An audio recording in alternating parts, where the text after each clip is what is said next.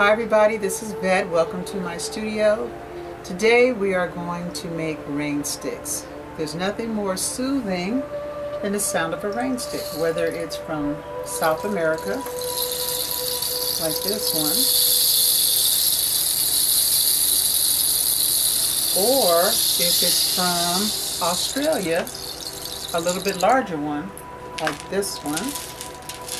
It has this beautiful designs on it of a snake and it tells the story all about hunting for the snake on this one. So what we're going to do is we're going to be using tubes. It could be any kind of tube. A mailing tube. This tube is from uh, saran wrap, but it could be any size. I have a mailing tube that I used before and I did not have caps on it so I just put tape and I'll show you how that's done. Or you can have a mailing tube that already has the plastic parts that pop right back in. And if you don't have that, then you just go with what you have, and this will work just fine. Here's an example of one that was made from a tube that was from the kitchen. I believe this was foil.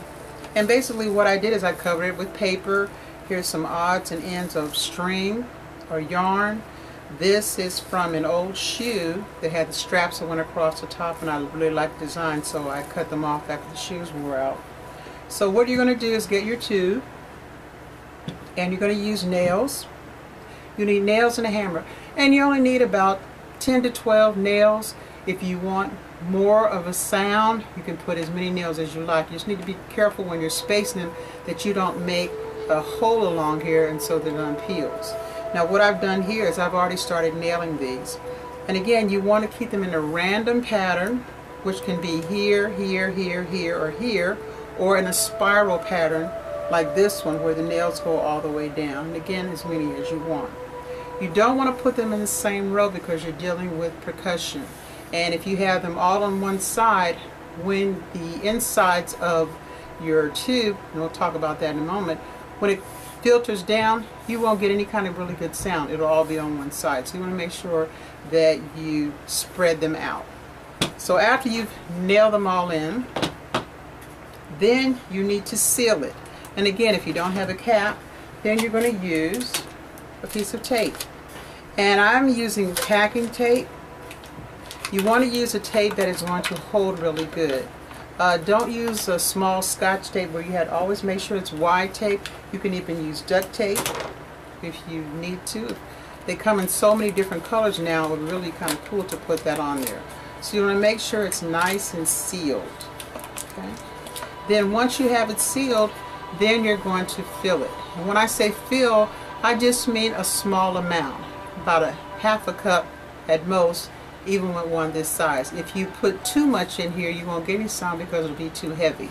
So you can add things, these are like paper chips, and because they're cut in little pieces, they make a little soft sound when they hit those nails. Now it's a percussion sound.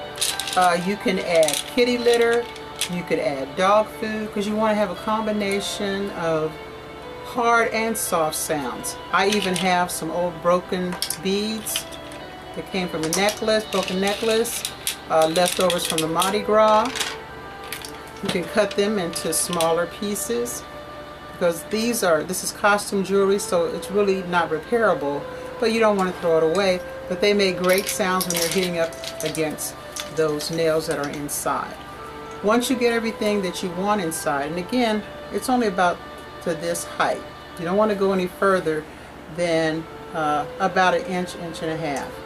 And speaking of inch and a half, I didn't tell you the nails that you want to use, make sure that they fit the size of the tube that you're using. I usually stick with the one, one and a half inch size nail. These are bright, what they call bright nails.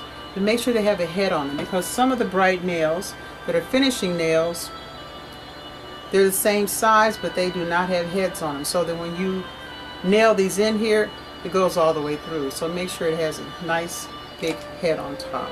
Okay.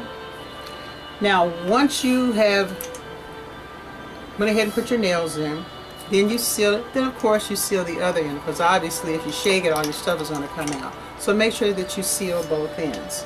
Now, I have some uh, designs on a few that I have done previously. We'll start with the big one. Okay.